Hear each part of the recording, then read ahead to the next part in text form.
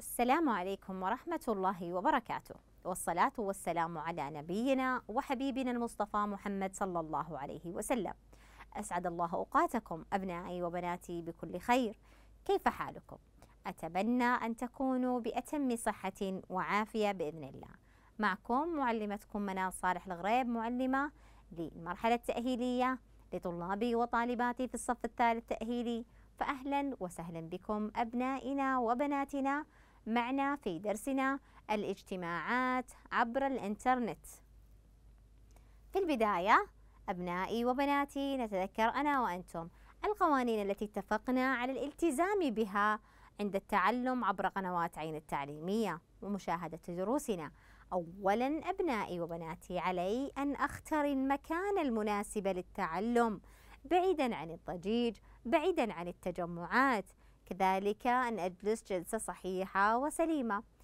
كذلك أبنائي وبناتي يجب أن تكون لدي معرفة بجدولي وأوقات التعلم المباشر سواء على منصة مدرستي أو عبر قنوات عين التعليمية.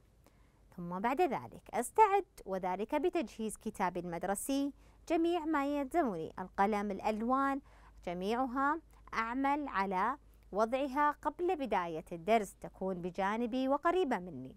ثم أستمع إلى درسي بتركيز وأتابع الدرس حتى انتهاء الوقت المخصص له.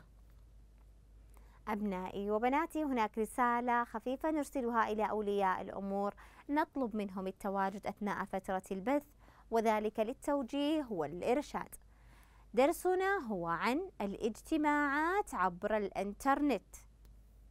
الهدف العام أن يتعرف الطالب والطالبة على الاجتماعات عبر الإنترنت. أهدافنا التدريسية التي أسعى أنا وأنتم إلى تحقيقها بإذن الله. أولا أن يذكر الطالب والطالبة ما هو الاجتماع عبر الإنترنت. ثانيا أن يذكر الطالب والطالبة ميزة الاجتماع عبر الإنترنت. ثالثا أن يعدد الطالب والطالبة مميزات الاجتماع عبر الإنترنت. رابعا أن يذكر الطالب والطالبة أهم الإجراءات التي يجب الالتزام بها عند الاجتماع عبر الإنترنت. خامسا أن يذكر الطالب والطالبة أهم التطبيقات التي تقدم خدمة الاجتماع عبر الإنترنت. سادسا أن يستخدم الطالب والطالبة Microsoft Teams للاجتماع. إذا هذه أهدافنا التدريسية التي نسعى إلى تحقيقها. درسنا يتناول مادة ماذا؟ الاجتماعات. الاجتماعات أول كلمة في الدرس اللي هو الاجتماعات ماذا تعني أبنائي وبناتي؟ تعني لقاء بين أعضاء لمناقشة موضوع ما يعني هؤلاء الأشخاص يجتمعون من أجل أن يتناقشون حول موضوع ما إذا الاجتماع هو عبارة عن لقاء أعضاء لمناقشة موضوع ما سواء كان يخص العمل يخص مثلا ممكن يكون اجتماع أسري ممكن يكون اجتماع من أجل العمل ممكن يكون اجتماع من بين الأصدقاء. إذا هو لمناقشة موضوع ما. ماذا تعني كلمة عبر الإنترنت؟ اجتماعات عبر الإنترنت. هذه توفر لك ميزة أنك تجتمعين ولكن عن بعد. يعني ما تكونين مثل الصورة السابقة وجها لوجه. لاحظنا في السابق أنه كيف؟ يكون في الاجتماع يكون ماذا؟ يكون وجها لوجه. الاجتماع عبر الانترنت يوفر لي خدمة الاجتماع ولكن عن بعد بحيث إنه ما يحتاج أو ما يلزم إنك تلاقي الشخص وجها لوجه. أي لا يلزمك مقابلة الأشخاص أو سواء كان شخص أو أكثر في الاجتماع. ما يلزمك إنك تقابلهم وجها لوجه وإنما عبر اتصال الانترنت. أنت في مكانك وكل واحد منهم في مكانه ويبدأ من خلالها الاتصال عبر الانترنت اللي هو خدمة الاجتماعات عن بعد. يكون الاجتماع عن بعد. لماذا عن بعد؟ لأنه كل طرف بعيد عن الآخر كل طرف في مكانه آه في مكان ممكن آه في منزله في مكان عمله. المهم أنه كل شخص منهم في مكان بعيد عن الآخر ولكن مع ذلك تمكنوا من الاجتماع ومناقشة موضوعهم. الاجتماع عبر الإنترنت لو أو الاجتماع عن بعد نبغى نعرفه نقول هو اجتماع بين شخصين أو أكثر. اجتماع لازم يكون بين شخصين أو أكثر من شخصين يعني مستحيل واحد يجتمع مع نفسه. لذلك اجتماع يكون بين شخصين أو أكثر من شخصين. على أحد التطبيقات الإلكترونية التي توفر ماذا؟ هذه التطبيقات مو أي تطبيق لازم يوفر ميزة الاجتماع عن بعد. يعني أنا بجتمع ولكن عن طريق الاجتماع عن بعد. يعني ممكن أي تطبيق يوفر لي ميزة الاجتماع عن بعد إذا هذا الاجتماع هو يعتبر اجتماع إلكتروني بين شخصين أو أكثر ويسمى اجتماع عبر الإنترنت لأنه اجتماعا عن بعد أبنائي وبناتي. أي تطبيق إلكتروني يوفر لك اجتماع عن بعد ويوفر لك أنك تجتمع بين شخصين أو أكثر هذا اجتماع يسمى عن بعد. أنواع هذه الاجتماعات اللي عن بعد أبنائي وبناتي في أنواع منها. لاحظوا عندكم هنا في الصور ظاهرة إذا هؤلاء الأشخاص اجتمعوا عن بعد ولكن عن طريق الفيديو يعني ماذا؟ راح يتقابلون. لاحظوا؟ راح في كاميرا تعمل وتبث مباشرة وراح تنقل صوت وصورة. إذا شوفوا هنا شخص قاعد يتقابل مع الأشخاص ويشاهدهم عن طريق اتصال فيديو. اتصال فيديو مباشر ولكن كل واحد منهم في مكان ولكن قادر على مشاهدتهم والتحدث معهم مباشرة. هذا اتصال ماذا؟ اتصال فيديو. يعني في اتصال ماذا؟ مرئي. في شيء يشاهده. يقابل الأشخاص وجها لوجه. مو وجها لوجه يقابلهم يشاهد الأشخاص. فهو اتصال مرئي عن طريق الفيديو. في نوع ثاني يكون صوتي. فقط اتصال صوتي. كنا مكالمة هاتفية. ولكن بين شخصين أو أكثر من ذلك. إذا هذا يكون ماذا؟ يكون صوتي. يستخدم فيها فقط المايك. وما يكون فيه اتصال مرئي ما يشاهدون بعض فقط الصوت يكونون يتناقلونه ويتحدثون مع بعض في نفس الوقت يتبادلون فيه المناقشة موضوع ما ولكن عن طريق الصوت كما قلنا. هنا ما فيها اتصال مرئي ما في شيء يشاهده ما راح يشاهد الأشخاص اللي يجتمع معهم وإنما راح فقط يسمعهم.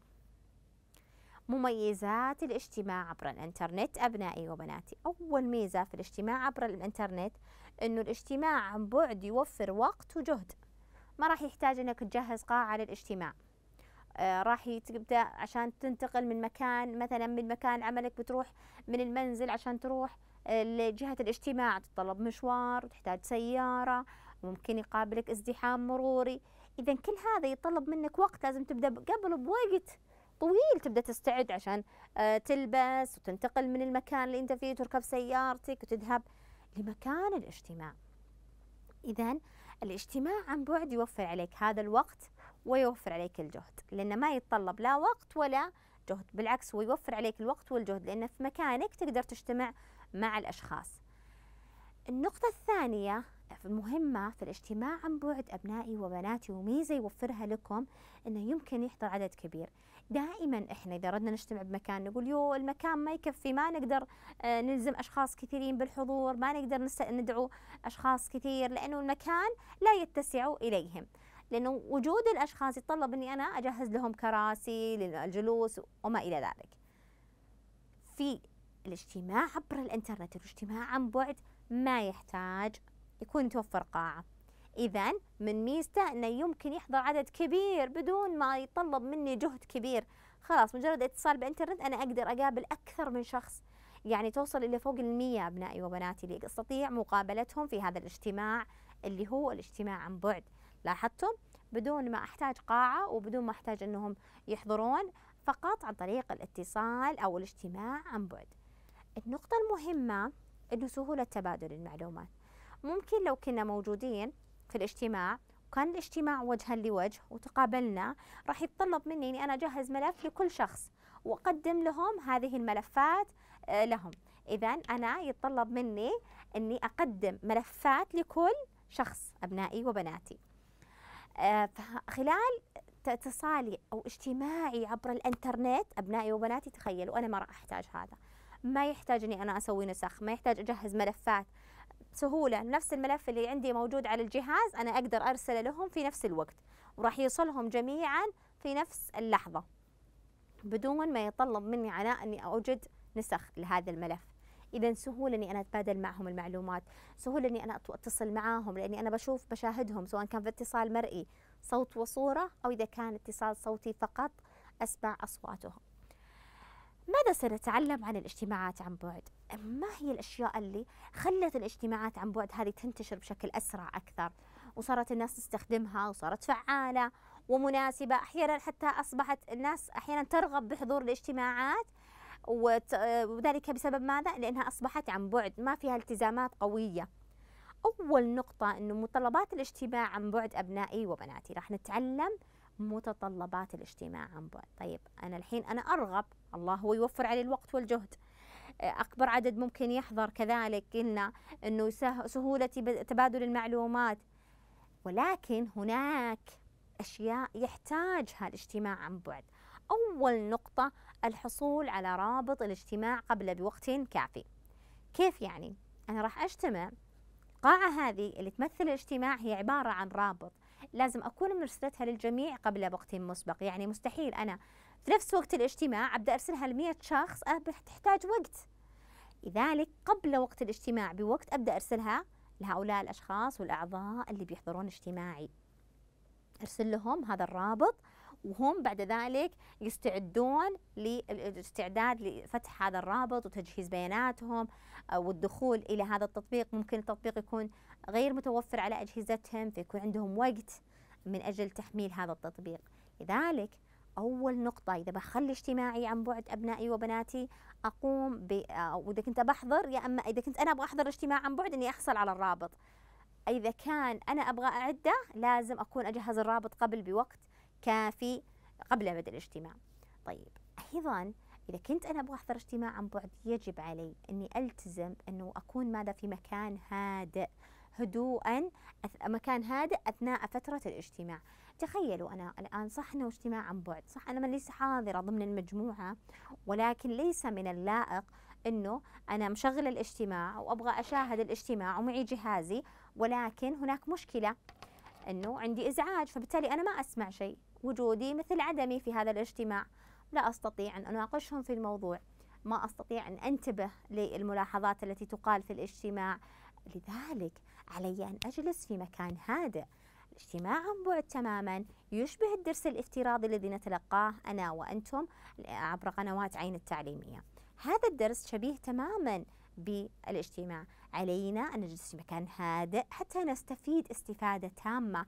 نستطيع أن نكون قادرين على الاستماع قادرين على الانتباه.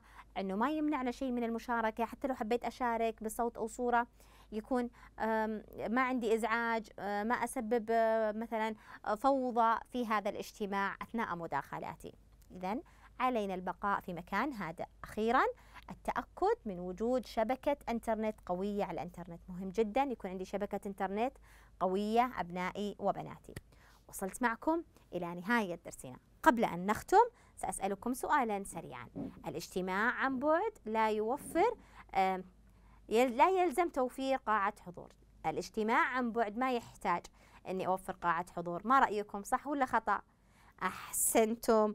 إذا هذه الجملة تعتبر صحيحة. الاجتماع عن بعد لا يلزم توفير قاعة لأنه إيش راح يكون عبر الإنترنت. استودعكم الله ألقاكم على خير. معلمتكم منال صالح الغريب.